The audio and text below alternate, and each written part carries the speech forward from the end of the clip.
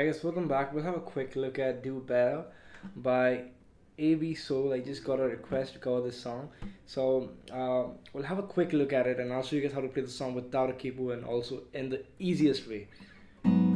These chords are actually not that hard. It like, seems like bar chord, but I'll give you an optional way to play the chords uh, without barring. So no capo stand tuning we have one main chord progression which just repeats throughout the whole song so that's a great thing. And uh, you can strum the chords but personally I like to pluck the strings pluck the chords for this chord for this song. So it starts off with this chord sheet which is a minor 7 of A flat.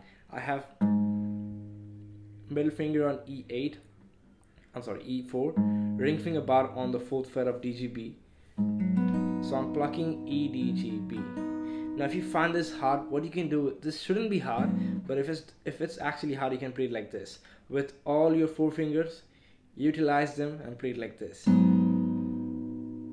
Now for the right hand it's my thumb hitting the E string my index hitting the D string middle finger hitting the G string ring finger hitting the B string. That's it. So plug them together. Bring it two frets up so it's now six every way and it's actually a B flat minor 7 chord bring it to bring it two frets up uh, from that position it will be a C minor 7 so we got one two three. And after that I'll go to a major 7 chord. Now this is a B major 7 I'm having E7 B7 and then these two fingers on the 8 frets of D and G. So that's the first line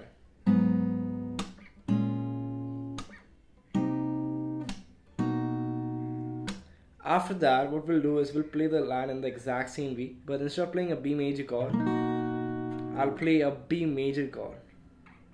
I'm sorry a C sharp major chord which is also known as a D flat.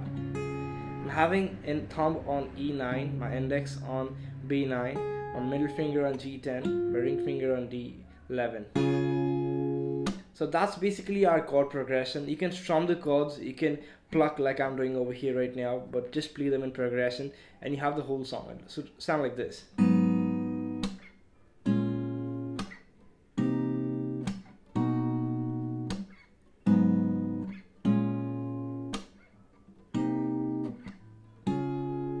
Now one thing I would like to mention is when you're playing the chord for the even number of chords you can actually add a mute at the end of the chord. So one then slap. So just like that you're hitting the strings. So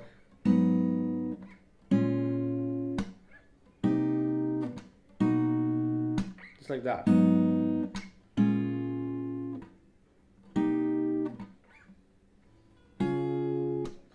You want to strum the chords and maybe add another note, you can add this note. It's simply the fifth note of every chord, which is basically on the sixth fret. Like, just add plus two on the fret of A string. So sixth fret for this one. So like this, this goes on. So you can do this.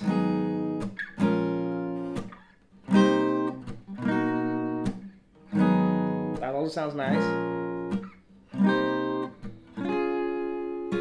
That's how you can play the song so i hope the video helps you out. If you have any doubt regarding any of the part of the song please let me know and if you guys haven't yet subscribed to do so. Helps me out a lot and for more lessons like this stay tuned. Bye